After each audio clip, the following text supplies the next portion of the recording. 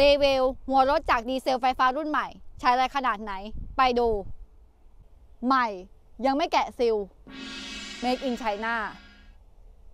สีแดงตัดสีเทา สวยสปอร์ตดุดันไม่เกรงใจใคร ความจุถังน้ำมัน 4,500 ลิตร top speed 120 กิโลเมตรต่อชั่วโมง เร็วสุดๆ ไปเลย พบกันได้แล้ววันนี้